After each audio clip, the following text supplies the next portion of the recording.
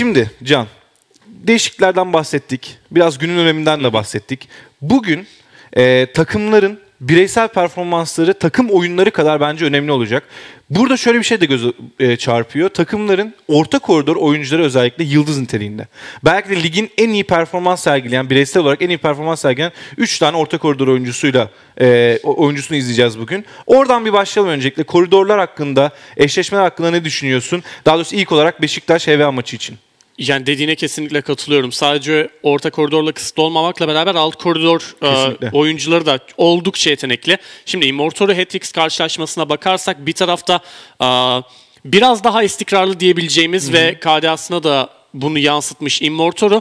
Diğer tarafta da biraz böyle inişli çıkışlı gözüken bir Hatrix görüyoruz. Hatrix ama istediği şampiyonu alıp oyunun başında istediği gibi oynayabildiği zaman tam bir canavara dönüşebiliyor. Bunu da belki de en iyi gösterdiği şampiyonlardan bir tanesinin Ahri olduğunu düşünüyorum. Bu yüzden tabii ki yani orta koridor mücadelesi çok büyük önem taşıyor. Ancak yani haritada da burada ekranlarda da görebildiğiniz gibi Üst koridor oyuncuları da alt koridor oyuncuları da takımların gerçekten çok değerli. HVA'nın belki de yıldız oyuncusu diyebileceğimiz, ligin başında tahmin etmeyeceğimiz bir isim Marshall, Marshall. çok e, önemli bir oyuncu haline geldi ve HVA'nın başarısında da çok büyük önem taşıyor kendisi kesinlikle. Diğer tarafta Revanche ve Trick birazcık böyle e, ligin son safhalarına doğru eski alışkanlıklarına dönmüş ve biraz daha böyle takımlarından kopuk oynuyormuş gibi gözüküyorlar. Hı hı. Bu yüzden ufakça ben Beşiktaş'ın bir avantaj elde ettiğini e, düşünüyorum. Ama tabii ki HVA'nın da hangi gününde olduğu çok önemli. Çünkü şunu hatırlatmamız lazım. HVA e, lige iyi başladı, oldukça iyi başladı. Ancak 4. 5. hafta civarında koçlarını değiştirdikten sonra sadece bir tane galibiyet alabildiler. Hı hı. Bu yüzden düşüşte olan bir HVA'ya karşı Beşiktaş çok ufak bir üstünlük sağlayabilir. Ama Beşiktaş'ın da arada böyle çok büyük yaptığı hatalar olabilir. Mesela Tabii. geçen hafta cumartesi günkü maçta yani önce orman baskısına gidip ondan sonra dönüşünde çok beklemedikleri bir durumla karşılaşınca bir daha hiç toparlayamadılar. Çünkü geçen hafta da çok fazla üzerine durduk. Ee, özellikle artık bu seviyedeki oyunlarda oyunun her saniyesi önemli. Yani başından sonuna kadar her saniye yaptığınız, attığınız her adım belki de her hareket, aldığınız her eşya çok daha büyük önem taşıyor. Evet. Ee, bu noktada e, lafı şuraya getireceğim mesela bireyselden biraz da takım oyunu anlamında yani takımların uyumu anlamında birbiriyle uyum anlamında hangi takımı daha önde görüyorsun bugün? Ben Beşiktaş'ı bir, kıs bir kısmen daha üstün görüyorum diyebilirim. Yani bireysel yetenek olarak zaten onu bir kenara koyduk. İyi oyunculara sahipler. Hı hı. Ama e, farklı kompozisyonlar deneyip bunu da uygulayabilen bir takım. Yani evet. tamamen takım uyumuna e, odaklı bir kompozisyonla sahaya çıkıp bunu çok etkili bir şekilde oynamasını biliyor Beşiktaş. Bu yüzden ben bugünkü maça da bu özelliklerini kullanarak çıkmaları gerektiğini düşünüyorum. Yani tamamen takım oyununa odaklı belki de yine Zillion'lı bir kompozisyon, hı hı. Taşıyıcıyı korumaya yönelik bir kompozisyonla maça çıkıp sonrasında yine rakiplerini bu tek maçlık seride domine etmeyi düşünebilirler. Evet esasında onun üzerine çok fazla durmadık. Yani tek maçtan oluşuyor bugünkü bütün e, karşılaşmalar. Hatta yani uzasa bile 3 maçta eğer ki eşitliği bozamazsak ondan sonraki aşamada da yine tek maç üzerine oynanacak ve dediğin gibi yani burada bir tane atışın var. İyi yapman lazım bu atışı ve sürpriz bir şeyler ortaya çıkarman lazım. Çünkü artık takımlar bu takımlar birbirine ikişer kere oynadılar lig boyunca. Birbirlerinin maçlarını izlediler, evet. seyrettiler. Sürpriz bir şey çıkartmak lazım belki de ortaya. E, e, bekleme, rakibin beklemeyeceği bir silah ortaya çıkarmak lazım. Peki sence bu ne olabilir? Beşiktaş'ta da HVA'da da. Ya bir yandan düşüncem aslında yeni bir şampiyon, e, alışılmadık bir şampiyon tercih edilebilir. Bu belki bir Zilin olabilir, e, belki alt koridora yine çok iyi çalışılmış Kog'Maw üzerine bir kompozisyon kurulabilir. Ya da benim tabii şahsen görmeyi de çok istediğim Twisted Fate üzerinde bir kompozisyon kurulabilir. Çünkü Kore ve Çin bölgesinde çok oynanmasına rağmen ligimizde hala fazla oynanmayan bir şampiyon haline ve harita hakimiyeti de oldukça yüksek.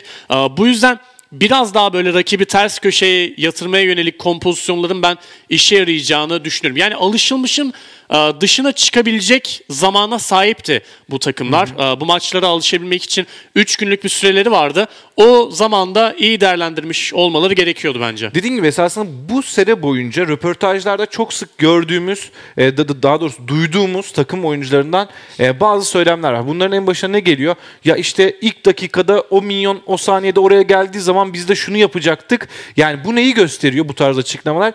Takımlar daha mekanik hazırlanıyorlar maçlara. Evet. Yani saniye saniye ne yapacakları belli. İşte oraya bir çomak girdiği zaman araya oradan sonra toparlaması çok zor oluyor. Çünkü e, ilk dakikada mesela o kuleyi alacağın dakika ya da ilk skoru alacağın dakika, ilk ejderhaya gideceğin dakika bunları çok üzerine çalışıp sonra bir anda geriye düştüğün zaman kurtulamıyorsun. Belki bugün bu tarz geriye düştükleri noktada tekrardan e, oyunu toparlayabilen takımlar da ön plana çıkacak. Tabii ki yani dediğine çok katılıyorum. Çünkü aa, baktığımız zaman koridor değişikliği artık çok büyük önem kazandı ve çok metodik bir hale geldi. Yani koridor Kesinlikle. değişikliği yapıyorsunuz. Kuvvetli olduğunuz taraftan bir kule alıyorsunuz. Geri dönüp yine değiştirip öbür kuleyi alıyorsunuz. Arada bir yerde takımlardan bir tanesi böyle bir 30 saniyeliğine League of Legends oynamayı unutuyor ve ufak bir hata yapıp maçı kaybediyor. Bu yüzden zaten herkesin herkesi yenebildiği bir ligde oynuyoruz şu Kesinlikle. anda. Ee, kesin bir favori belirtmek yani tabii ki maçlarda belli favoriler var ama yani kesinlikle bunlar bu maçı kazanacak diyemiyorsunuz hiçbir Zaten şekilde. o yüzden tiebreaker'dayız. O yüzden Evet, bu takımların evet. hepsi puanı eşit. Yani önceden tahmin edebilmek, edebilmek gerçekten de çok zor bu maçları. Ee, sadece biraz izleyip o heyecanı yaşamak lazım, görmek lazım. Hangi takımın daha iyi hazırla- hazırlandığını göreceğiz esasında senin de söylemiş olduğun gibi. Ee, bu maç boyunca o zaman hazır şöyle heyecanla bu maçları bekliyorken daha fazla lafı uzatmadan e, sunucularımıza doğru geçelim. E, Chris yani Tom Balıklı Makarna, Wickedness ve e, K- Kaan Second Best kuralla sizlerleyiz. Dilim sürçmeden gönderiyorum. evet, Glandal'a teşekkür ediyoruz. Ben Christopher Tombalık Makarna Wilkins ve yanımda Kaan Second Best Kural'la birlikte günün ilk maçını sizlere aktaracağız. Günün ilk maçının ismi Beşiktaş Oyun Hizmetleri ve HVA Gaming olacak. Kaan, önce bir kadroları hatırlayalım. Hemen sonrasında yorumlarına geçiş yapacağım. Mavi tarafta bugün Beşiktaş Oyun Hizmetleri bulunuyor olacak. Zayraz, Robin, Immortoru, Rubelius ve Hibiki'den oluşuyor. Beşiktaş Oyun Hizmetleri'nin kadrosu. Karşılarında ise HVA Gaming, Marshall, Trixucator, Hatrix, Revenge ve Wisdom.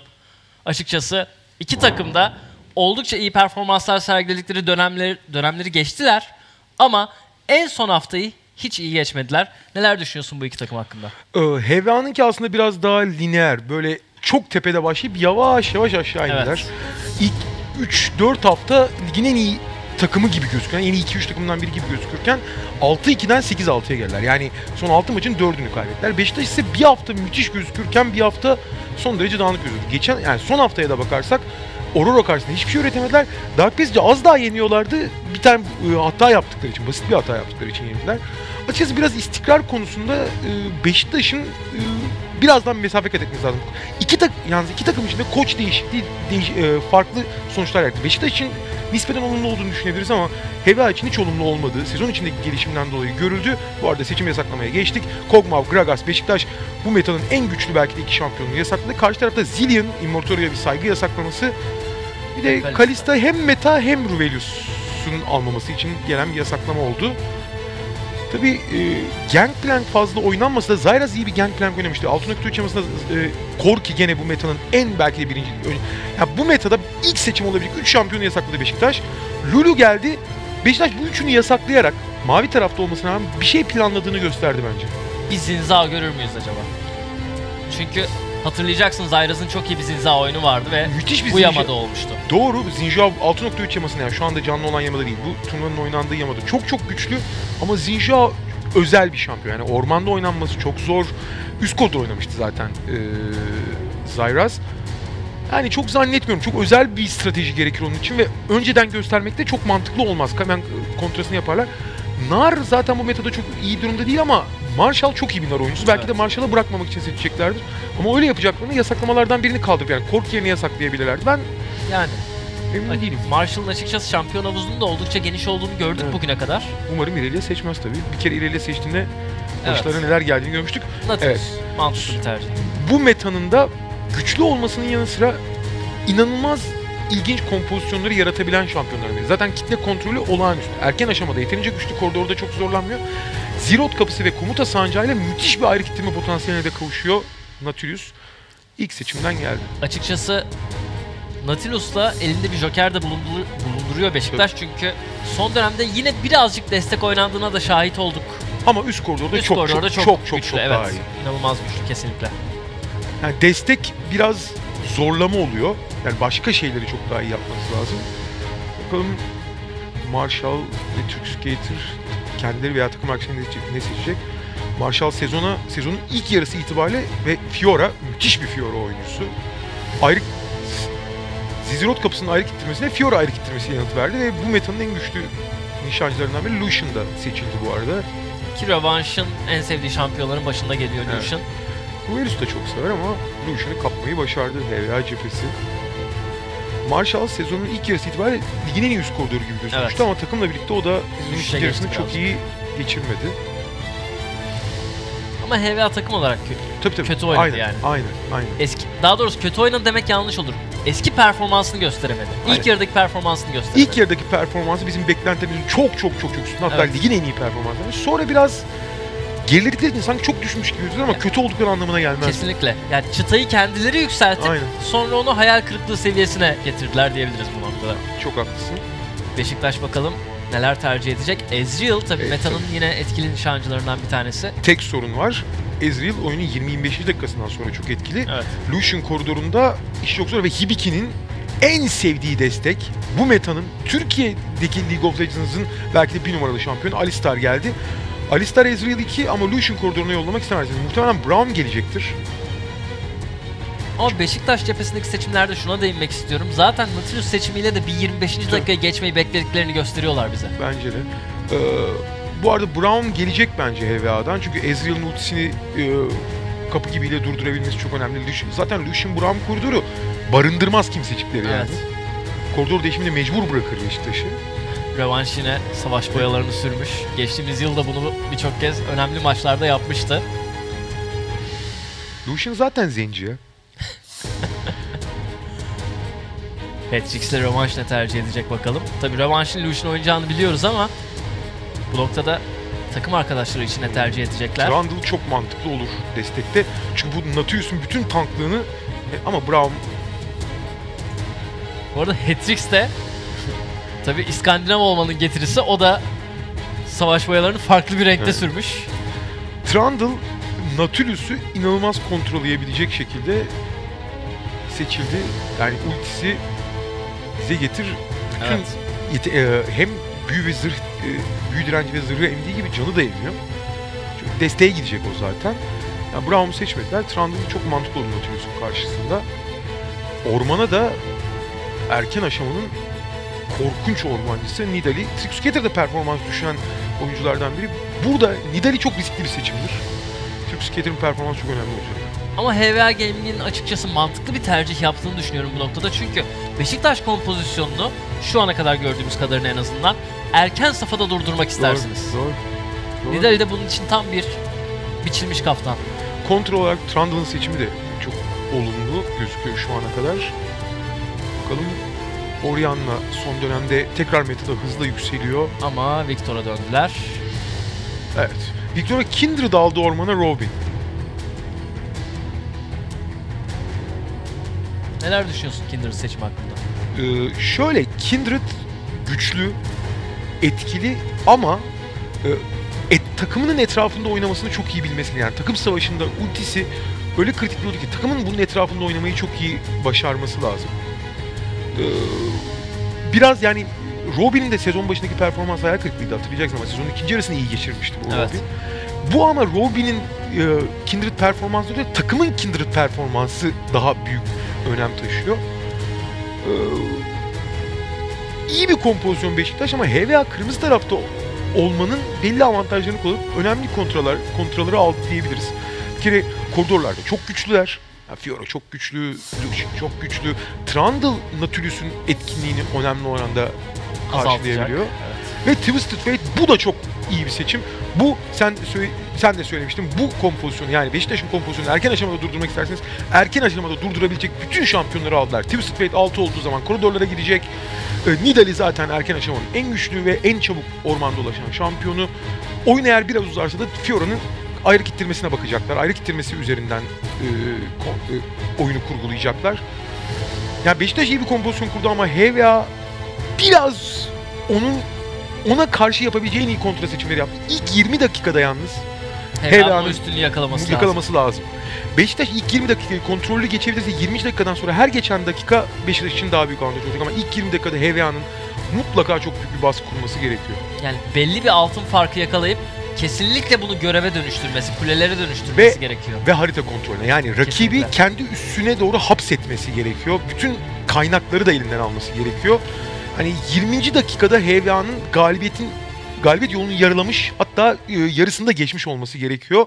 20 dakikadan sonra çünkü Beşiktaş'ın işi yani her geçen dakika Beşiktaş lehine dönecektir. Ama koridorlar da çok güçlüler. Beşiktaş Evet. koridor değişikliği yapmak zorunda bu koridorlara karşı. Hmm, Bakalım ne olacak ama e, Beşiktaş'ın kompozisyonu kö- kötü değil yanlış anlaşılmasın. HVA yalnız bu kompozisyona en iyi kontrayı seçti. Evet. Beşiktaş'ın Beşiktaş'ın kompozisyonu geç güçleniyor. Evet. Kötü olduğu için değil, erken safhada güçsüz olduğu için aslında böyle. Bu arada izleyicilerimize hemen şunu da hatırlatalım. Bu iki takımın ligdeki mücadeleleri 1-1 bitti. Yani iki takım da birbirini bir herkes yenmeyi başardı. Hatta tiebreak'te rakibini iki kere yenmeyi başaran tek takım var. O da Beşiktaş. Supermassive'i iki kere yenmişti. Geri kalan mücadelelerde eşleşmeler 1-1 tamamlandı lig aşamasında. Tabi siz de bu maçı kimin kazanacağını düşünüyorsanız twitter.com lolespor adresinden yapılan oylamada fikirlerinizi belirtebilir ve bize kimin kazanacağınızı, kimin kazanacağını düşündüğünüzü söyleyebilirsiniz. Yavaş yavaş mücadeleye de geçiyor olacağız. Peki Kaan kimin kazanacağını düşünüyorsun? Ee, açıkçası söylemek zor. Ben Beşiktaş'ın maç öncesi biraz daha önde olduğunu düşünüyorum. HVA'nın yani Beşiktaş istikrarlısı olabilir ama HVA'dan daha en azından bir tık daha istikrarlı. HVA düştüydü. Yalnız bu seçim yasaklama ekranından sonra önemli soru işaretleri ve belirdi. HVA'nın eğer bu kontra seçimleri çalıştırabilecek yani bu sistemi çalışmışlarsa şimdi sadece kontra seçimleri seçmek yetmiyor. Bu kompozisyonu çalıştırmayı Kesinlikle. daha önce prova etmiş olmaları gerekiyor. Bunu prova etmiş ve uygulayabilirlerse HVA bence bir yarım adım önde başlayacak. Çünkü avantaj onlarda. Rakibin yaptı, yapmak istediğini gördüler. Ha sen bunu mu yapmak istiyorsun? Biz bu şekilde durdurabiliriz dediler. Onu uygulayabilirlerse HVA önde. Uygulayıp uygulamayacaklarını orada göreceğiz. Dediğim gibi e, maç öncesi yarım adım Beşiktaş'ı önde görüyordum. Şimdi yarım adım HVA'yı önde görüyorum. Sadece oyun başlamadan, yani uygulama bölümü başlamadan olan düşüncem bu. Bakalım uygulama konusunda neler yapacaklar. Ee, bu oyunun her zaman biz üst koridorun hep önemli olduğundan vesaire bahsediyoruz. Son dönemde Immortoro'nun geçen senenin ortasından beri yakaladığı çıkışla artık Türkiye'nin belki de en iyi orta koridoru konumuna geldiğini söylüyoruz. Ama bugün e, Hat-Tricks'in de düşen bir performans ama bugün bu oyunda en kritik şampiyon hangisi derseniz oyun ilerleyen aşamalarında Fiore olacak elbette Evet. her zaman olduğu gibi. Fakat kesinlikle Twisted, Twisted Fate. Fate. Altıncı seviye olduktan sonra Twisted Fate'in hem de ışınlanla girecek büyük ihtimalle. Yapacağı her şey oyunun kaderini çizecek. Buna Beşiktaş ne kadar hazırlıklı Twisted Fate'in e, ultisine. E, Twisted Fate'in ultisini takımı nasıl kullanacak? En belirleyici nokta ta- yani ormancıları söylemeye gerek yok. Çünkü o oyunun doğası gereği. Ama Twisted Fate bu oyunun belirleyici şampiyonu olacak muhtemelen. Ama baktığın zaman zaten Twisted Fate'i çok iyi destekleyebilecek bir orman şampiyonu da seçtiler Tabii. Nidali. Çünkü çok hızlı dolaşabiliyor ormanda. Ama- Aynı zamanda çok hızlı kampları Doğru temizliyor. ama hepsi koordinasyon meselesi. Yani yarım saniyelik şeyler bunlar. Yarım saniyelik ko- e, sinerjiler, yarım saniyelik doğru karar vermeler. Ama e, bu maçta Hat-Tricks'in ön- sırtında çok büyük, Büyük bir bir yük var. yük var orası kesin. Aynı zamanda Beşiktaş'ın ne kadar sabırlı olabileceğini de göreceğiz. Beşiktaş için bence çok iyi bir sınav. Çünkü onların istikrarlarından bir gün çok iyi, bir gün çok tuhaf gözükmelerinden bahsediyorduk. Böyle zorlayıcı, böyle rakibin yani kendilerinin sabrını test edebilecek bir maç oynamaları bence bu maçın skorundan öne daha çok KMF için onlar adına bence çok belirleyici Evet. olacak. Bu çünkü onları çok zorlayacak bir kompozisyon. Kesinlikle. Çalı- rakibin çalıştırmasına engel olabilecekler mi göreceğiz. İzleyicilerimize bir kere daha hatırlatalım. Tiebreak mücadeleleri aslında 3. 4. ve 5. sırayı belirlemek için yapılıyor ve bu KMF'de kimin kimle oynayacağına direkt olarak etki edecek. 3. sırayı alan takım Team True Quality ile eşleşecek. 4. ve 5. sırayı alan takımlar ise birbirleriyle eşleşecekler çeyrek finallerde. Açıkçası o yüzden e, Glandal'la Scarlett'in de bahsettiği gibi 3. sırayı alan takım bir adım daha avantajlı gözüküyor. Bu da tabii Team Quality aslında kötü bir takım olduğundan değil, ligde en düşük sırayı alan takım olduğu için kağıt üzerinde en düşük takım olarak gözüktüğünden dolayı. Ee, bugün 3 takım tiebreak'e katılıyor. Bunların Evet. iki tanesi KMF'nin ilk turunda da oynayacak. Ee, 4 ve 5. sırayı alacakları için. Onlardan biri olmamaya çalışacak. Üstüne üstlük şöyle bir şey de var. Sadece e, Team Turkuat ile eşleşmeyi unut e, göz ardına e, göz ardı etmeyelim. Yani sadece onun göz önüne almayalım. Eğer Team Turkuat'e geçerse üçüncü olan takım ki asıl amaç tabii ki şam, k- kış mevsiminin şampiyonu olmak, bahar mevsiminin. e, daha sonra Dark Passage'de oynamayacak. Yani Dark Passage ne olursa olsun ligi birinci bitirdi ve Evet. e, çok çok çok Finale kadar gözüküyor. oynamak zorunda Evet. kalmayacak. Ve Team Oro yani ti- şimdi şöyle bir şey sorayım. Bu takım bu üç takım bir, e, aralarından biriyle mi oynamak isterler? Team Turquoise ile mi oynamak isterler? Team Turquoise ile oynamak Tabii isterler. ki. Yarı finalde Dark Passage'la mı oynamak, oynamak isterler? Team Aurora ile mi? Aurora çok başarılı gidiyor olabilir. Ama hangisini tercih ederler? Muhtemelen Aurora'yı. O yüzden Aurora'yı. üçüncü olmak gerçekten e, önemli. Artı Acı 4-5 sıralama değişmiyor belki ama burada rakibe verilecek bir mesaj da mavi taraf avantajını elde edecek olmak da e, çeyrek final için gene önemli. O yüzden bugün e, bize bayağı bir şey anlatacak galiba. Ama ben aslında e, şuna tam olarak katılmıyorum. Hani Dark Passage ile Aurora belki geçtiğimiz yıl baksak Dark Passage çok üstün diyebilirdik. Ama şu anda bunu demek çok da doğru gibi gelmiyor bana. Hele ki burada bir Aurora gerçeği var ki son 7 maçını kazanmış. Ligin ikinci yarısındaki bütün maçlarını kazanmış bir takım. Bu başarıyı gösteren başka bir takım olmadığı için ben baktığımda en korkutucu takım bana Aurora gibi geliyor birazcık da. Şöyle ama e, ben 5 maçlık bir seride Dark Passage'dan daha çok Evet. çekiyorum. Doğru diyorsun. Yani. O konuda doğru diyorsun. 5 maçlık bir şekilde ve pek çok takımda bu konuda hemfikir. Yani ben Aurora kesinlikle Aurora'nın başarısı zaten bu sezonun başarı bir hikayesi varsa kesinlikle Aurora'dır. Zaten sen de söyledin. Ligin ikinci yarısındaki bütün maçlarını kazandılar. Daha yani bunun üzerine söyleyecek bir şey yok. Ama 5 maçlık bir seride Dark Passage mi Aurora mı? Aurora'yı tercih edersiniz. Karşınıza gelmek için. Tabii bunu da aslında görüyor olacağız. Aurora için büyük bir sınav. İlk kez bu kadrolarıyla bir 5 maçlık seriye çıkıyor olacaklar KMF sırasında. Real'in daha önce böyle bir tecrübesi oldu ama takımın bu ekiple olmadı. Yani bu kadroyla olmadı. Onu da görüyor olacağız. Bakalım nasıl bir performans sergileyecekler. Ama şunu sormak istiyorum sana açıkçası. Bu üç takımdan bir tanesi bugün buradan 3. sırada çıkacak ve Team Turquoise ile eşleşecek ama e, diğer iki takım sence birbiriyle eşleştiği zaman bu tiebreak maçlarından da bir avantaj elde Tabii. edecek midir? Biraz evvel onu söylemeye çalıştım. O bu, bu tiebreak maçlarındaki olan da en son akıllarında kalan anı olacak. Yani Tabii Yama da değişmiş olacak KMF Doğru. sırasında. Ama ne olursa olsun psikolojik olarak belli bir üstünlük sağlayacak. Mavi taraf yani 5 maçın 3'ünde mavi taraf olma avantajını Evet. edecek. Ve yani biz en son sizi yenmiştik diye sahaya çıkacak ki bu bu bile çok önemli bir artı bence. Psikolojik baskı. Tabii. Tabii. Ee, üçüncü olmak ama en önemlisi. Bütün yolunuz değişiyor çünkü. Yani Dark Passage yolundan çıkıyorsunuz. Birbirlerinizle oynamak yolundan çıkıyorsunuz. Team Turquoise ile eşleşiyorsunuz. Aynen. Bu arada tabii ilginç bir nokta var. Beşiktaş eğer burada başarılı olup üçüncü olmayı başarırsa Team Turquoise oynayacak ama ligdeki iki maçı da kaybetmişti Team Turquoise. Onu da unutmayalım. Evet, evet. O gerçekten ilginç bir istatistik. Turquoise'in iki, ikide iki yaptığı tek takım Beşiktaş oyun hizmetleri. Beşiktaş'ın da iki maçı birden kaybettiği tek takım yanılmıyorsam. Evet, galiba öyle olması gerekiyor. Tuhaf Ama bir şekilde. İlginç istatistikler var tabii bu noktada.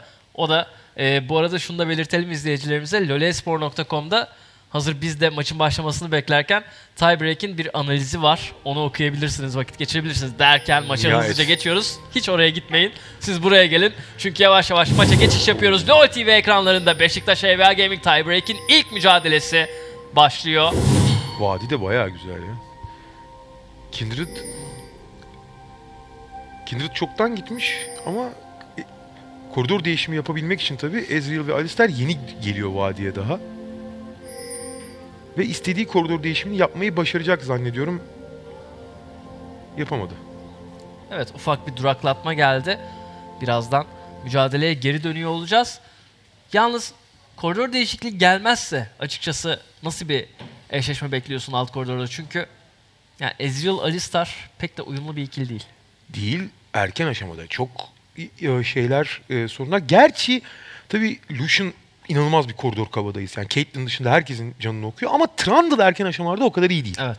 Ee, o yüzden Ama hani Lucian'a pozisyon yaratabilir buzdan sütunla. yaratabilir ama yani bir Brown gibi bir Yaratamaz, e, skor evet. baskısı yaratamayacağı Kesinlikle. için felaket olmaz. Ama tercih edecekleriydi. Bu arada biz buna benzer bir eşleşmeyi e, Beşiktaş'ın son maçında bir önceki maçında görmüştük galiba. Son haftadan bir önceki maç. Ve Ezreal Alistar ikilisiyle koridorda üstünlüğü de ele almışlar. Evet. Yani bireysel başarıyla alabilirsiniz. Ben şampiyonların özelliklerine göre düşünürsek yalnız Ezreal'ı yanındaki destek kim olursa olsun Lucian yanındaki destekten bağımsız olarak aynı koridoru göndermek istemezsiniz.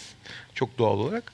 Ve koridor değişimi Natüris'e de çok uygun. O Evet. yüzden Beşiktaş için koridor değişimi bence artı oyunun koridor aşamasını mümkün olduğu kadar uzatmak, koridorda oynamamak, oyunun erken aşamasını nispeten daha koetik yapmak tabii ki her zaman Beşiktaş'ın işine gelir. Çünkü standart oynandığı zaman erken aşamada 20 dakika kadar hep şey üstün. Ee, teknik olarak e, hep e, HVA üstün olacak. Kesinlikle öyle olacak ama bir yandan da şuna değinmek istiyorum. Ruvelius Lucian oynuyor ve sen sürekli onun agresifliğini... Ezreal. E, pardon, Ruvelius Ezreal oynuyor. Zaten şampiyonu yanlış söyledim. Değinmek istediğim nokta buydu. Ve hani Ezreal fazla agresif olduğunuz zaman kesinlikle size maçı kaybettirebilen bir şampiyon. Ama yani bunu defalarca altını çizdim. Ruvelius saçını kestirdikten sonra pamuk gibi oldu ya. Hatta hatta gerek, gereksiz defansif oynamaya başladığını bile söyleyebiliriz. Yani Reckless için zaman zaman ilk 20 dakika hiç e- etkili olmuyor falan deniyor. Yani double lift gibi oynuyordu ya da atıyorum Wild Turtle gibi oynuyordu. Şimdi Reckless gibi oynamaya başladı. Çok Ya- değişti. Yani saçma sapan agresiflikten gereksiz defansifliğe döndü diyebilir miyiz? Yok abartmayalım o kadar. Yani zaman zaman çok agresifken artık e, nispeten daha kontrollü hatta zaman zaman biraz fazla kontrollü oynuyor. Ama Ezreal için de kontrollü oynamaz, oynaması Kesinlikle. gerekir. Bu arada koridor değişikliği derken orman gezintisi oldu. Koridor değişikliği falan değil. Bu arada her Tetrix totem bıraktı oraya. Şimdi Beşiktaş'ın bütün hamlelerini görüyor olacak. Robin'le Zayraz'ın keskin gagalardan başladığında fark etti böylece. HVA Gaming bakalım nasıl cevap verecek buna. ormanı tamamen ikiye böldüler. Yani koridor değişikliğinde her zaman gördüğümüz bir şey bu. Ama ilginçtir kayacıllardan başlar genelde üst koridor ve orman ikilileri. Gidip bu riski al- alıp Hatrix'in dibinden keskin gagalardan başladılar. Aslında biraz da Twisted Fate'e gözdağı vermiş oldular orada. Hani bize çok yaklaşma tarzında. İşin bir diğer ilginç tarafı da Trixicator ile Marshall ikilisinin burada kurtlardan başlamış olması. Hemen onlar da rakip kırmızı güçlendirmeye doğru gidiyor.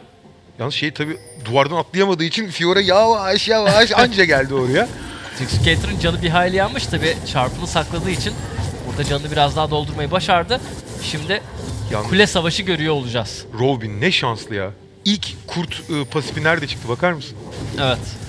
Bu da Kindred'ın işte küçük tombalası. Tombaladan bir tane pasif çıktı. Ama yanlış bilmiyorsam eee ilki hep yan yengeçten çıkıyor. Ama kendi tarafındakinden kendi çıktı. tarafındakinden çıktı. Çünkü ormanı artık nehir boyunca bölmüyoruz. Ormanı artık orta koridor boyunca bölüyoruz. Öbür taraftakinde çıksaydı onu alma ihtimali yok. Çünkü o tarafa geçemiyor artık e, Beşiktaş Evet. cephesi. Yazı tura, yazı tura da çıktı istediği şey. Kesinlikle öyle. Bakalım Beşiktaş mı kuleyi daha erken alacak yoksa HVA Gaming mi? Tabi bu noktada ekstra altında Zayraz'a bırakıyor olacaklar. Beşiktaş bu koridor değişimini zaten önceden planladığı için kompozisyonu gereği biraz daha hazırlıkta gözüktü. Bir 10 saniye falan avantajlı gibi görüyorlar. görünüyorlar. Kuleyi aynı anda aldılar ama minyonları tamamen öldürmeyi başaran taraf Beşiktaş cephesi oldu. Yine de HVA cephesi de burada koridoru ittirmemeyi başarmış gibi duruyor şu ana kadar. Bakalım Marshall o noktada bunu ne kadar başarabilmiş. Evet Marshall açıkçası biraz daha ittirdi ama yine de eşit seviyeye getirmeyi başardı Zayraz'la. Ama evet yani baktığımız zaman minyonlara baktığımız zaman şu an alt koridor Beşiktaş tarafına doğru ittirecek ama üst koridor daha çok yine o da Beşiktaş tarafına doğru ittireceği için avantajlı bitiren taraf Beşiktaş oldu. Aynen öyle. Beşiktaş çok daha avantajlı. Yani istediğini yaptı diyelim. Avantajlı tartışma konusu. Çünkü harita kontrolünü rakibe veriyorsun Evet. bu durumda. Ama istediğini yapan Beşiktaş. Kesinlikle öyle. Bu arada Rövanş'la Wisdom'ın da üst koridora gittiğini görüyoruz. Zayras'ın zaten bu koridora yaklaşmak gibi bir derdi yok. Trixicator acaba bir kule altı denemesi mi yapacak yoksa sadece karşı ormana mı giriyor? Bu arada orada Robin'in de yakında olduğunu görüyoruz. Robin şimdi totemi bulacak o noktada. Lucian'ın şöyle küçük bir avantajı oldu. Ezreal Tanrıçanın gözyaşını almak için geç geldi. Yalnız kule altı Seni yapabilirler. bölüyorum çünkü o noktada mızrakla Hibiki'yi bulmayı başardı Trixicator. Yalnız Robin de oraya çok yakın. Burada bir agresiflik sergileyecekse bile bundan vazgeçmek üzere olabilir Dörde, Gaming. dörde 3 kule altı hiç tavsiye edilecek bir şey değildir. Kesinlikle ki bakıyorum şu an gerçi ışınlanla gelebilecek birisi yok çünkü Zyraz zaten üst koridorda. Hatrix gelebilir. Hayır yani 5'e 3 yapabilirler bu koridor altını. Hani yalnız erken seviyede 5'e 3 bile çok riskli. Zaten HVA'da yok bu iş olmayacak Ama- deyip. Marshall çok geri düşürdü. Evet aynen öyle. Yani buna kalkıştılar. Şöyle hiçbir şey olmamış olabilir ama Beşiktaş kazandı. Niye? Çok fazla zaman kaybetti Marshall. Baskını karşı baskın böyle bir şey. İlla bir şey yapmanıza gerek yok. Doğru zamanda doğru yerde olursanız rakibe Bu arada engel. Immortal'u yakalandı, yakalandı. çünkü doğru zamanda doğru yerde olan isim Wisdom ve Immortal'a çok fazla hasar verdiler. Bu arada Wisdom sıçrası kullanmak zorunda kaldı. Hatrix'e inanılmaz bir bitkinlik orada.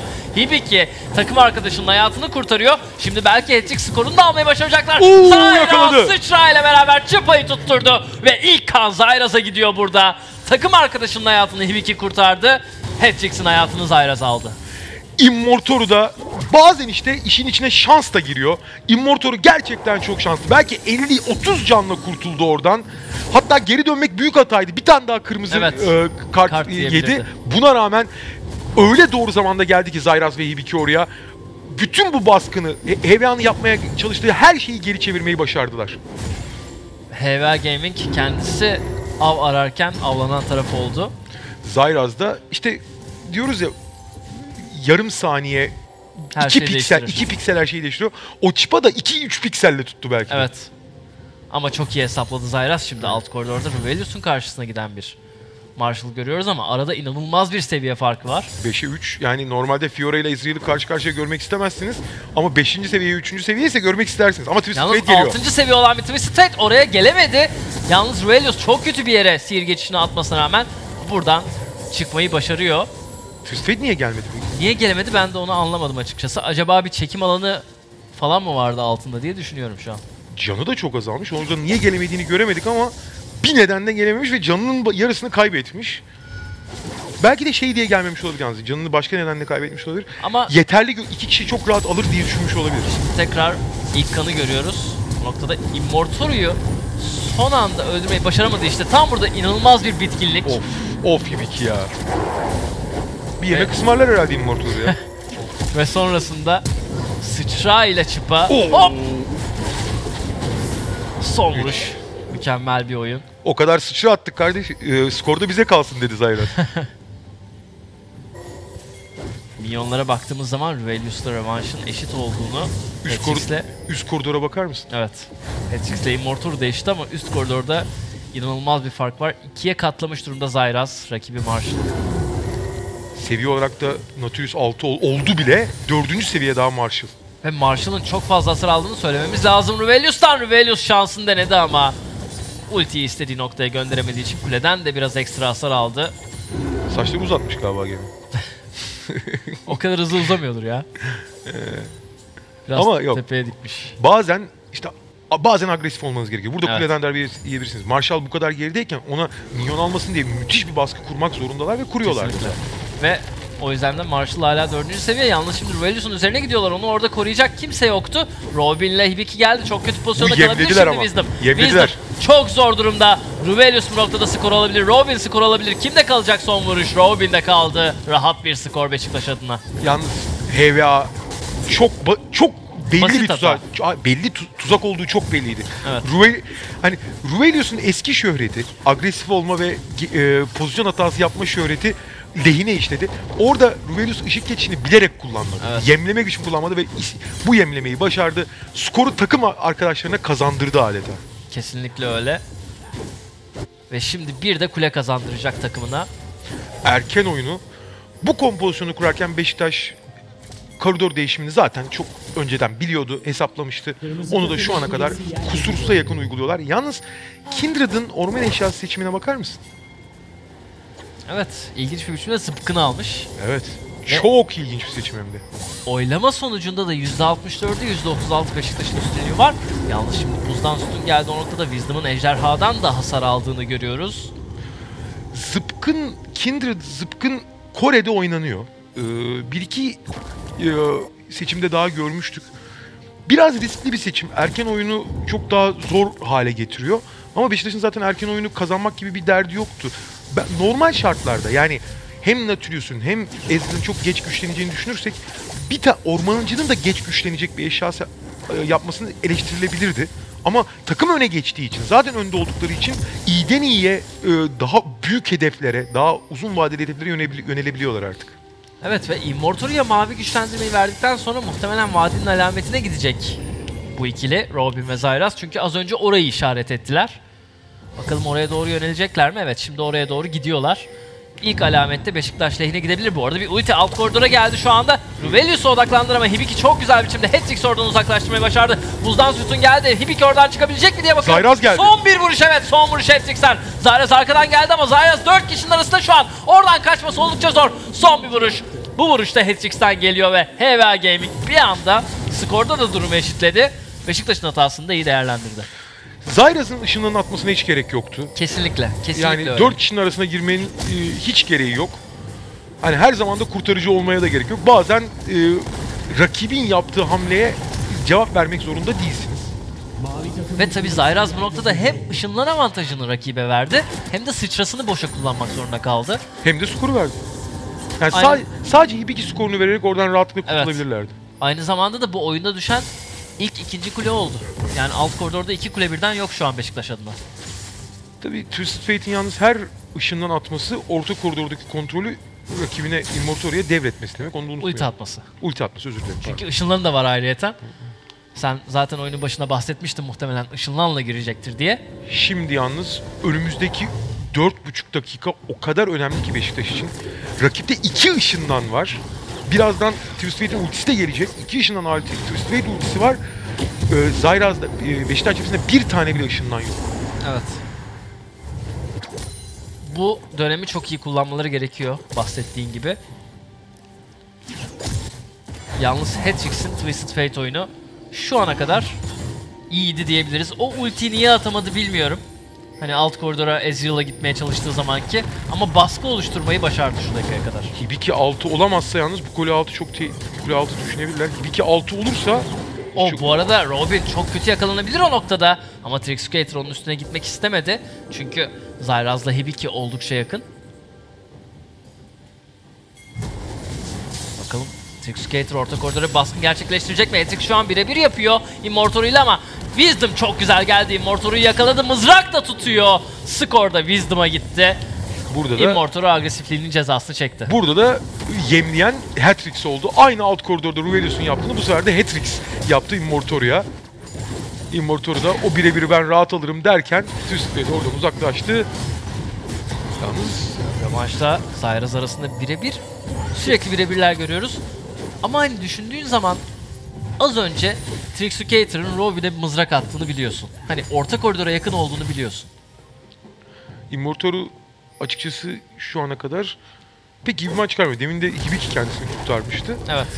Şu çok önemli yani bunu Beşiktaş erken öne geçtim diye unutursa büyük hata eder. Onların amacı bu dakikaları mümkün olduğu kadar defansif geçmek olmalı. Kesinlikle. Ama Ee, onlar ofansa devam ediyor. Şu an Robin'in de oraya yaklaştığını görüyoruz. Kule de yok bu noktada. Bakalım gelecekler mi derken bir görüş totemine yakalandılar. Zaten Trundle'ın en büyük özelliklerinden biri buzdan sütun sayesinde çok iyi mesafe açabilmesi rakipleriyle arasında. Yani çok iyi kaçabilmesi, rakiplerini durdurabilmesi.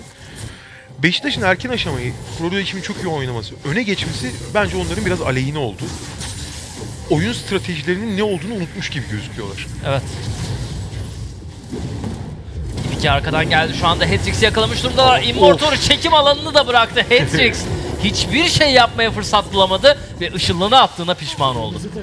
Bu oyundaki en iyi kombinasyonlardan biri. Alistar Unufaket'i tutturursa altına çıkacak e, koyulacak çekim alanından yeterince kısa yani sıçra dışında hiçbir şeyle çıkamıyorsunuz. Ki sıçrası da vardı Hatrix'in ama oradan çıkacak vakti de bulamadı. Vakti de bulamadı ve anında yok oldu.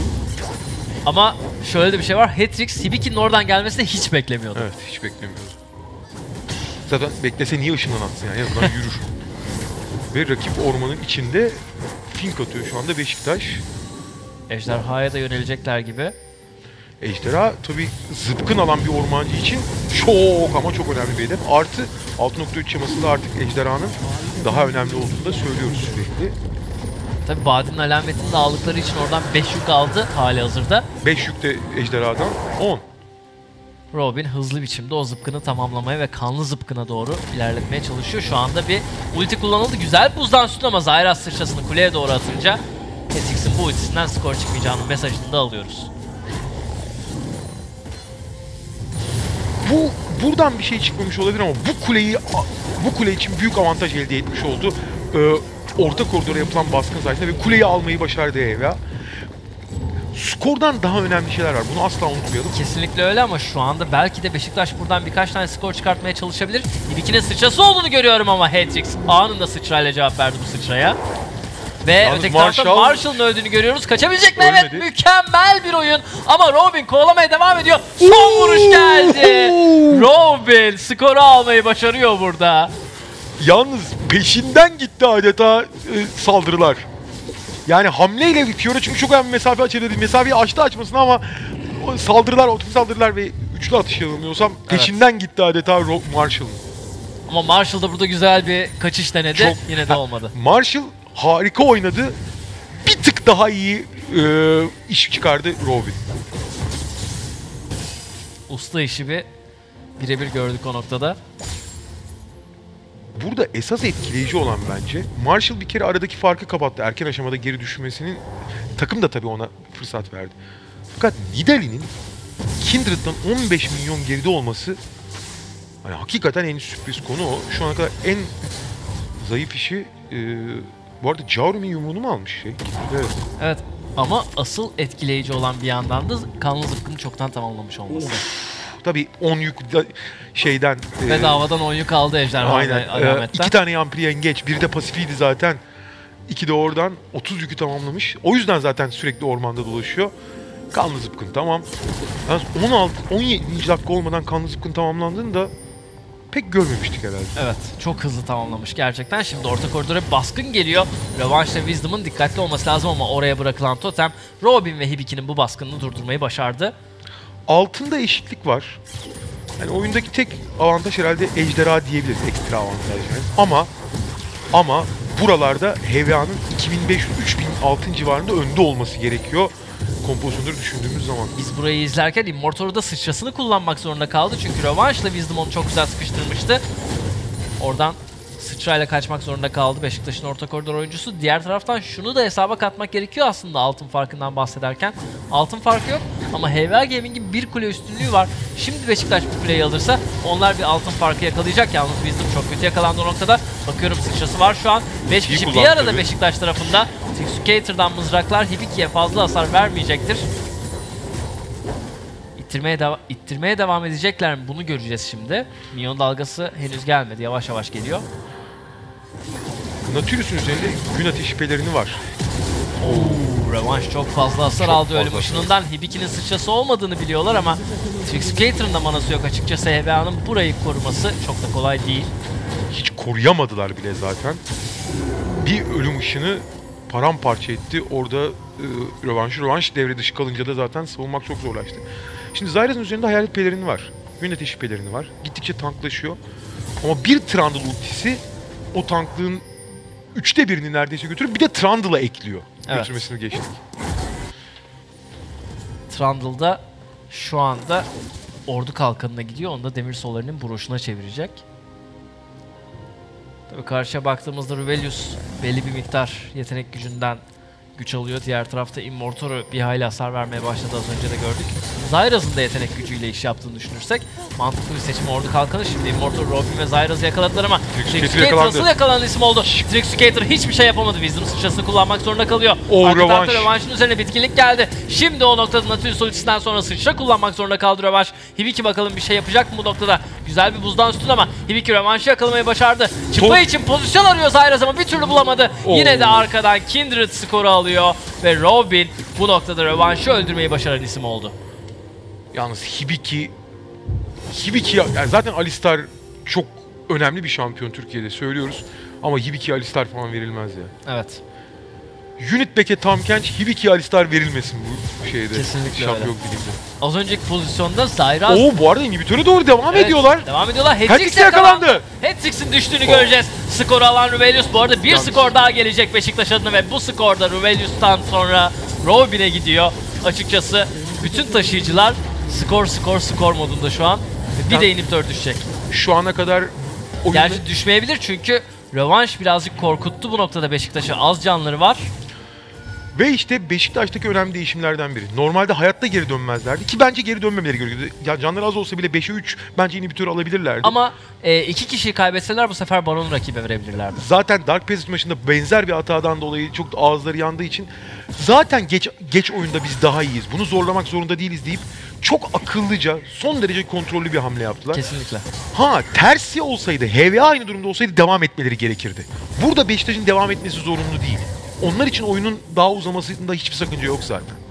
Ama şu son pozisyon, bu- şimdi Burada Trickskater çok kötü yakalanıyor ve anında eriyor zaten. Immortor paramparça etti onu. Bundan sonra bütün avantaj zaten Beşiktaş'ta. Bu arada burada çok önemli bir detayı da söylememiz lazım.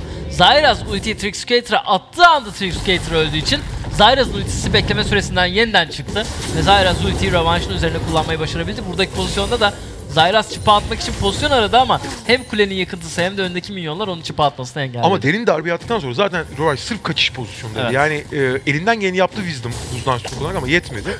Bu arada Zyras'ın üzerine giden Marshall ve Hattrick's ikilisini görüyoruz. Tabii Marshall'ın güçlenmesi Beşiktaş'ın pek de isteyeceği bir şey değil derken Marshall burada ilk skorunu almayı başardı. Çünkü Beşiktaş oyun ilerleyen safhalarında daha güçlenecek olsa dahi Marshall bir şekilde bir tehdit oluşturacaktır. Korkunç bir ayrı kitleme tehdit olacak. Yalnız e, demin tabii e, skordan dolayı göremedik. Demin orta koridordaki savaşta Beşiktaş'ı orta koridordaki savaşta takdir ama inhibitör savaşı sırasında HVA adeta dağıldı. Yani akılları akılları tutuldu orada. Onu söylemek lazım. Hani Beşiktaş'ın başarısından çok daha fazla HVA'nın hani ta, amiyane tabirle saçmalaması yatıyor. Yani orada Hatrix öyle bir skor verdi ki yani klavyeyi falan bırakmış olması lazım o skoru vermiş olmak için. Gereksiz bir biçimde önde yakalandı o noktada gerçekten. Bu arada şimdi ultiyle beraber rövanş Beşiktaş oyuncularını geri göndermeye çalışıyor. Hedricksen çok garip bir sıçra geldi ve Hedrick kendini bir anda mezarda buluyor. Şu an onun ekranı siyah beyaz. Diğer tarafta şimdi Revanche, Trickskater ve Marshall burayı tutmaya çalışıyor ama Wisdom'ın da düştüğünü gördük. Dolayısıyla oldukça zor durumda Ever Gaming. Beşiktaş belki de burada oyunu bitirmeye gidebilir. İlk inhibitör kulesini aldıktan sonra, ilk inhibitörü aldıktan sonra özür diliyorum. Nexus kulelerine dayanmış durumdalar. Trickskater bir kere daha yakalandı. yakalandı. Derin darbe geliyor ama üste kaçmak zorunda kalıyor Trickskater. İkinci Nexus kulesi gelecek. Beşiktaş çok rahat bir galibiyet almaya doğru giderken bir anda galiba. bitti. Buradan çıkmaları gerekebilir. Minyonları beklemeleri gerekebilir. Şu an bakıyorum ölüm sürelerine. Hatrix'in ultisi de var. Bir anda üstten hızlı bir biçimde arkalarına atılan bir ultiyle zor bir pozisyona sokabilir Beşiktaş oyuncularını ama amma bir kere daha yakalandı. Hibiki o noktada güzel bir oyunla onu tutmayı başarıyor. Wisdom da Şimdi düştü. Marshall Evet ulti de geldi bu arada. Arka tarafa Hatrix çok uzaklara gitti ve ilk Nexus kulesinden sonra ikinci Nexus kulesini almayı başarıyor Beşiktaş. Beşiktaş oyunu bitirecek. Hatrix o kadar uzağa gitti ki buraya yetişmesi oldukça zor. Robin ile Immortor'un çok az canı olduğunu görüyoruz. Arka tarafta Marshall yakalandı. Hatrix orada hiçbir şey yapamıyor. Robin skorunu alsa da artık geriye sadece Nexus hedefi kalmış durumda Beşiktaş için. Rövanş bu arada Immortor aldı. düştü. Bir dakika. Bu noktada HVA Gaming bir anda Zyras'ı düşürebilirse arkadan Hibiki de gelebilir, Ruvelius da gelebilir. HVA burayı tutmayı başardı ve Beşiktaş'ı bir nevi cezalandırıyorlar ama Beşiktaş yine de Nexus kuleleri düşürdüğü için şu an hala avantajlı taraf konumunda. hala avantajlı falan değil. Yani dakika 87 durum 6-1 yani. Gerçekten öyle çünkü 15 saniye ölüm süreleri var. HVA buradan hiçbir şey çıkartmayı başaramayacak muhtemelen. Her ne kadar Hayır. Baron'a gitseler de işleri oldukça zor. Ba- yani Baron'u almak bile onları biraz hayat Nexus kulesi yok çünkü oyunda. Evet. Hani şeyi geçtim. Hani inhibitörün açık olması değil mi? Nexus kulesi yok. hızlı biçimde Baron'a başlamış durumdalar ama Ruvelius da Hibiki de oraya doğru gidiyor. Bakalım bu ikili burada Baron'da oyunu bitirebilir aslında. Marshall'ın ve Wisdom'ın az canı kaldığını Çok görüyoruz. Hatrix'in de çok fazla canı yok. Alacaklar 200 Baron'u. aldılar, aldılar. Çık- nasıl çıkacaklar ama? Ulti geldi ama ulti yeterli değil. Wisdom orada muhtemelen ölecek. Hatrix'i yakaladılar. Hatrix düştü. Wisdom son anda dönmeyi başardı. Hibiki unfaketi attıktan sonra aslında Ruvelius Evet, e, evet. hedefe değil ona atsaydı ışık geçişini e, pa- pardon e, özütü akışını Olabilirdi. Herhangi Olabilir. bir şey atsaydı. ama önemli değil. Yani zaten şu anda bu baron sadece defansif bir baron. Bakalım tutmayı başarabilecekler mi? Oldukça zor bir görev var EVA Gaming'in. Yalnız 25 saniye boyunca gidip Nexus'a vur- vursalar zaten oyunu kazanabilirler. yani çünkü y- e, 20 saniye kaldı Hatrix'in gelmesine. Hatrix gelene kadar oyunu bitirebilirler. Hibiki'ye kullanılan bir ulti gördük rövanştan. Hibiki de şu an kendi ultisini kullandı ve o noktada Marshall'ı yakaladı. Arka taraftan çıktı ama Marshall güzel bir cevap veriyor. Wisdom sıçrayla geri kaçmak zorunda kaldı. Çıkabilecek mi oradan? Hayır. Oyun Skor bitti. Ruvelius'a gidiyor. Trickskater'la rövanş. Üste geri dönmek zorunda kaldı. Rövanş elinden geleni yapıyor ama arkada ölüm duşu geldi. Rövanş üste sıçra atarak kaçmak zorunda kalıyor. Bu noktada ilk skoru almayı başardı Evvel Gaming ama Nexus düşüyor. Nexus'a son vuruş geldi. Beşiktaş Hevel Gaming'in dayanmaya çalıştığı mücadelede onlara bu fırsatı vermiyor ve galibiyete uzanan taraf oldu. Beşiktaş böylece tiebreaker'ları 1-0 önde başlamış oluyor. Ee, bu oyunun kilit kar şampiyonu Twisted Fate olacak demiştik. Ee, Hatrix son yıllarda gördüğümüz en kötü Twisted Fate oynamış olabilir.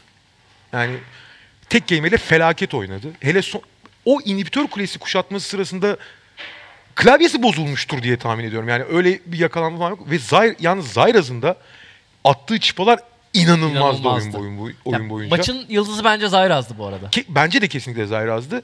Ama oyunun en belirleyici ismi şampiyondan ve kompozisyondan ötürü. Zaten Twisted Fate olması gerekiyordu ama Hatrix'in Twisted Fate performansı da korkunçtu yani. Gerçekten e, hiç, hiç hazırlanmamış gibiydi. Evet. Çok tuhaf yerlerde yakalandı. Ultiyi hiç etkili kullanamadı hemen hemen. E, ve yani kompozisyonu çalıştırmayı hiç başaramadı. Erken koridor değişimini çok iyi biliyordu Beşiktaş. Çok da iyi uyguladı. Tebrik ediyoruz. İlk tiebreak maçında kazandı Beşiktaş cephesi. Kesinlikle ve Beşiktaş böylece tiebreaklere 1-0 üstün başlamış oldu ama tabi bu HVA Gaming için de hiçbir şeyin sonu değil. Şimdi yorumcularımıza geçiş yapıyoruz. Bakalım onlar bu konu hakkında ve gelecek maçlar hakkında neler diyecek. Teşekkürler Tom Balıklı ve Second Best. Evet Can tekrar buradayız. Yani maçın başı da şunu söyledim. Dedim ki ya bu maç herhalde çok uzun sürecek. Çünkü iki takım da çok fazla hatayla başladı maça ve hani böyle e, bu hataların devamı gelecek ve sanki böyle maç çok 40 dakikalar 50 dakikalar uzayacakmış gibi bir izlenim bıraktı en başında ama sonrasında Beşiktaş bir anda silkindi ve hani senle konuşmuştuk maçtan önce hatırlıyor musun? Ee, hatalar yapılabilir ama Evet, bu evet. hatalardan kim dönmeyi başarırsa o e, lider konuma geçecek maçta demiştik. Beşiktaş biraz bunu başardı herhalde. Yani dediğin konuda çok haklısın tabii ki. Second Best'in dediklerine de katılıyorum bu arada. Yani HVA bir kompozisyon denedi. Aa, Twisted Fate seçmeyi düşündüler ki aa, az önce de bahsettiğimiz gibi yani uzun zamandır görmediğimiz şampiyonlardan bir tanesiydi ama bu yani global kompozisyonu oynamakta pek başarılı olamadılar. Çünkü baktığımız zaman aa, takımda iki tane ışınlan üzerine bir de Twisted Fate ultisi vardı. Yani 3 ışınlanla beraber bu maça çıkmasına rağmen HVA bunun getirisini pek göremedik. Ee, Hatrix'in özellikle üzerinde biraz daha durulması gerektiğini düşünüyorum ben. Yani yanlış kart seçimleri oldu, ultisini kullandığı yanlış pozisyonlar oldu. Genel olarak zayıf bir Twisted Fate performansıydı ve sonunda da zaten Beşiktaş e, başarılı bir şekilde maçtan galip ayrıldı diyebiliriz. Evet Beşiktaş'ı tebrik ediyoruz. Tabii ki de daha iki maç daha var ama öncesinde şimdi Hazal'ın yanına gidiyoruz bakalım. Hazal'ın yanında kim var? Herkese merhabalar. Tiebreak heyecanı tüm hızıyla devam ediyor. Yanımda şu anda Immortoru var. Ee, hemen ona dönmek istiyorum. Nasılsın? İyiyim sen nasılsın? Ben de çok iyiyim. Ee, öncelikle ligden farklı olarak bugün Zayraz'da gördük gerçi ama savaş boyalarıyla gelinmişti. Tiebreak'lere nasıl bir motivasyonla hazırlandınız? Ya, motivasyonumuz gayet iyiydi. Yani yenebileceğimiz takımlar ve önceden yendiğimiz takımlar vardı. O yüzden bayağı iyi motivasyonla geldik yani. Ama aslında maçın başında biraz sanki iki tarafta böyle bir e, heyecanlandı ve ufak ufak hatalar oldu. Sonra bir silkinme yaşadınız siz. E, neler hissettiniz o anda? Biraz duygusal olarak da soracağım çünkü önemli maçlar bunlar. Ya, bir yerden sonra güçlü olacağımızı biliyorduk. Hani şampiyonlarımız daha güçlü. O- en baştaki hatalar pek bir sorun yaratmadı bize. Hani full focus oynadık yani. Peki beklediğinizden kolay bir maç mı oldu yoksa? Aslında kolay, biz kolaylaştırmadık maçı. Onlar kolaylaştırdığı gibi bir şey oldu yani. Sadece mide gidip kill aldık, kule bitirdik yani öyle öyle diyebilirim yani. Bir de bugün tabii e, durdurak bilmeden maçlar devam ediyor. Bir de Supermassive maçı var önünüzde. E, onunla ilgili ne hissediyorsunuz? Çünkü genelde çok alışkın olduğunuz şeyler değil. Hani bir günde iki profesyonel maç yapmak. Aslında pek bir şey hissetmiyorum aslında. İki maç sorun değil bizim için. Öyle yani. Şimdi HVA'nın aslında tarzıyla e, Supermassive'in oyun tarzı arasında aslında çok fark var. O yüzden e, ilk maçınız HVA ileydi. Supermassive'den o anlamda biraz daha hani çünkü strateji değişecek sizin için birazcık. Biraz daha ürküyor musunuz acaba? Ya ürk- ürkmek değil aslında. He, e, Supermassive daha sakin oynuyor oyunu öyle diyebilirim. Heva maçı biraz Clone Fiesta gibi bir şey oldu. Ama bu maç daha sakin olacak. Daha az hata olacak yani öyle diyebilirim. Harika. Önemli bir galibiyet aldınız bu arada. Üçüncülük sırasına doğru ilerliyorsunuz. Tebriklerinizin devamını dileyelim. Son olarak eklemek istediğim bir şey var mı bugüne dair? Bir şey yok. Supermassive maçından sonra bir daha seni burada görecek miyiz yoksa Supermassive'den birini mi yanımızda göreceğiz? Kesinlikle göreceğiz yani. Buradayım. Peki, Aynen. peki. Görüşürüz. Ee, Immortor ile birlikteydik. Tekrar sizdeyiz. Ee, yani evet çok da fazla esasında ilk maçla ilgili yani böyle dolu dolu konuşmak isterdim. Çok Evet, daha çekişmeli geçsin isterdim bu maç ama yani gerçekten de Beşiktaş e, kamyon gibi geçti HVA'nın üzerinden. Yani ve HVA için şöyle sıkıntılı bir durum var. Şimdi ikinci maç yani üst üste ikinci maçlarına çıkacaklar. Yani çok hızlı bir şekilde bu maçı kafalarından silip Super, Supermassive maçına hazır olmaları gerekecek. Yani bilmiyorum nasıl bu maça nasıl bir moralle çıkacaklar ama. Ve yani bu maçtan kesinlikle galibiyetle ayrılmaları gerekiyor ki dediğin gibi yani en azından bir şansları kalabilsin. Öbür türlü çünkü eşitliği tekrar zorlamaları gerekiyor. Bu maçtan da yenilgiyle ayrılırlarsa sıkıntı son derece büyük olacak kendileri için. Bakalım yani bu maç neler yaptıklarını göreceğiz. Diğer bir yandan da Beşiktaş e, özellikle Supermassive'e de büyük bir gözdağı vardı günün ilk maçında. Yani e, Supermassive HVA maçı nasıl geçecek bilmiyorum şimdi ikinci maç ama yani üçüncü maçta Supermassive'in şu anda ikinci maçı oynarken aklına hep şey olacak. Acaba Beşiktaş'ı yenebilecek miyiz?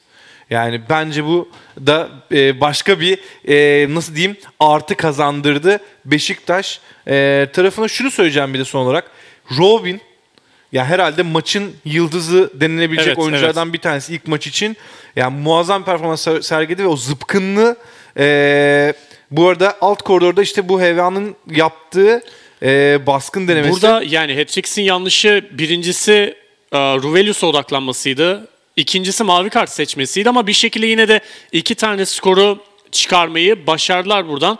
Sonrasında zaten yani bu pozisyonda tabii işler iyiye gidiyordu. 2-2 olmuştu durum bu pozisyondan sonra ama işte bundan itibaren çıkan takım savaşlarında işler e, gitgide kötüye gitmeye başladı. Hat-Tricks yine alt koridora bir ulti denerken e, Victor kendi ultisiyle bozmayı başardı Hat-Tricks'in ultisini.